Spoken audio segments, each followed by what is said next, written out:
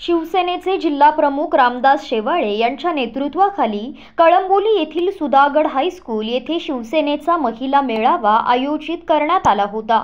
यावेळी मेळाव्याला हजर शेकडो महिलांनी शिवसेनेत प्रवेश केला.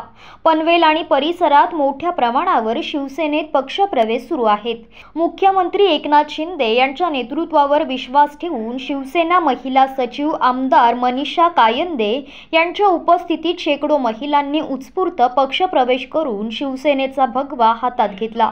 जिल्हा प्रमुख रामदास शेवाळे यांच्या नेतृत्वाखाली मागील काही दिवसांपासून मोठ्या प्रमाणावर पक्षप्रवेश होत आहे. कळंबोली येथे पक्षाच्या वतीने भव्य महिला मेळावा ठेवण्यात आला होता. यावेळी शेकडो महिलांनी कार्यक्रमाला हजेरी लावली होती. शिवसेना सचिव आमदार मनीषा कायंदे यांच्या मुख्य उपस्थितीत या मेळाव्याचे आयोजन करण्यात आले होते. कार्यक्रमादरम्यान वंदनीय बाळासाहेब ठाकरे शिवसेना वैद्यकीय मदत कक्ष रायगड जिल्ह्याची पदांची नेमणूक करण्यात आली.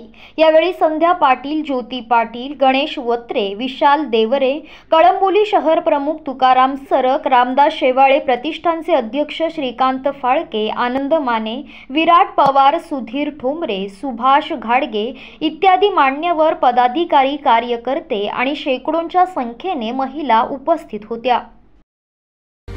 पनवेल आणि नवी मुंबईच्या ताज्या घडामोडींसाठी मल्हार टीव्ही न्यूज सबस्क्राईब करा आणि बेल आयकॉन दाबून रहा अपडेट.